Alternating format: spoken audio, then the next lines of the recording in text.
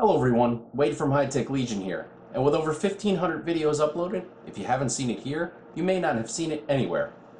In this video, I'm going to be giving you a tutorial of the BioStar Hi-Fi Z97WE UEFI BIOS. And what we're looking at here is the first screen that you get into, and that gives you some quick heads up information with the BIOS information and version and the build date, your total memory, the speed that it's running at, and the system language. You also have your system date, which you can set here, and your system time. You can also click on the clock up here to give this to get this nice little window for setting the time, which makes it quite a bit easier than some other BIOS that I've seen. You've got some other heads up information here, including your CPU speed, voltage that it's running at, your speed of your memory, and the voltage that it's running at, CPU fan, RPM, and your CPU temperature. So that's the main menu. And you also have your keys over here, of course, that give you your information on how to navigate the BIOS. F3, for example, optimize defaults. F10 to save and exit, which is pretty typical. And F12 gives you gets you into the BIOS flash. Under advanced settings, we have our PCI subsystem settings. You can click on that and go press escape to go back to the previous menu. ACPI settings, you can go in here and set the sleep states and what can power on the device. Trusted computing module, CPU settings and information.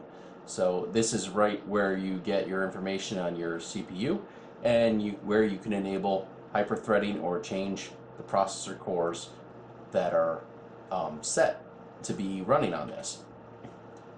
You have your rapid storage technology, your SATA configuration, which is nice here that it is defaulted to AHCI mode. It gives you your information on your drives. What's interesting about this board is that they're labeled SATA 1 lower, SATA 1 upper, SATA 2 lower, SATA 2 upper, etc.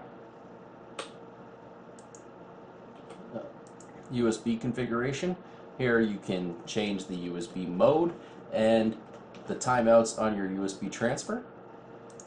Smart fan control, so you if you're using PW, PWM fans, you can enable smart fan control and that will allow the motherboard to control the fan speeds based on the temperature.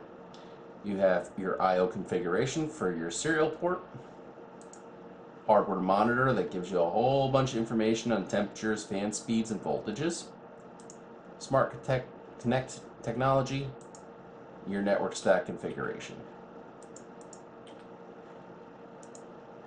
Under chipset, your PCI I.O. configuration. So this is where you can disable um, your LAN ports if you wanted to, and also set the information on the PCI slots. System agent configuration sets, you can set your primary display and other settings for your PCI X16 slots here. Under boot, of course, we have boot settings. So we have our uh, full screen logo display and whether fast boot is enabled and also your boot options here boot option 1, boot option 2, you can just double click on those and it brings up the menu that allows you to pick those. You can also set the boot option priority under the hard drive priorities.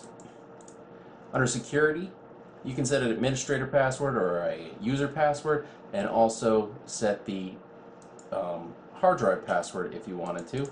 Under secure boot, the secure boot menu, you can disable secure boot or secure boot mode which are typically really only used with Windows 8.8 and 8.1. Under 1, this is where you would do your overclocking. You have your CPU configuration here. Now one thing I definitely noticed right away is that the default settings on this motherboard are a little bit off. Um, 3.7 gigahertz on a 4770K, which should be a 3.9 gigahertz for the turbo. And also you'll notice that the base clock is overridden to 100.5 instead of 100.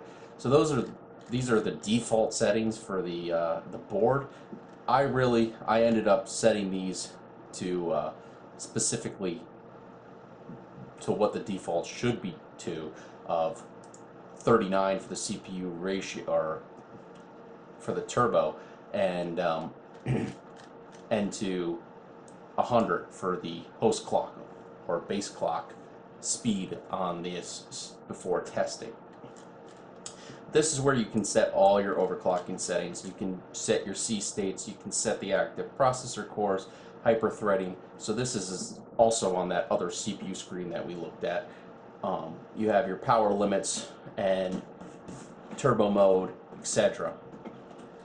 You also have one for your configuration of your memory. Also where you would set your XMP profile. So you would double click that and pick your XMP profile. You have a voltages configuration page which has all your various voltages for your CPU and memory insight biostar memory insight which allows you to look at specific information for the DIMMs that are in each slot. Finally, of course, we have our save and exit page, which allows you to discard changes and exit, save and reset, restore the defaults, override the boot, launch an EFI shell from a USB device, for example, back up your profiles for overclocking, etc. And again, you have your quick hotkeys over here. So if we wanted to save and exit, we could press F10, or we can press escape, which I'm sure you saw this pop up a couple times. Uh, that will give you quit without saving. Another thing I noticed about this particular BIOS version is that the mouse doesn't always work. Sometimes you have to click on a button several times or use the keyboard to be able to press enter to say yes on this. Um, definitely fairly easy to navigate BIOS, has all the options that you need, especially on a budget to mainstream motherboard that we're looking at here. So I hope you enjoyed this tutorial and I hope it was helpful. For the full review of this motherboard, definitely check out www.hitechlegion.com. Also, don't forget to check out our unboxing video where we're going to go through the features and look at the board itself. And please subscribe to our YouTube page, Twitter page, and Facebook page. Take care.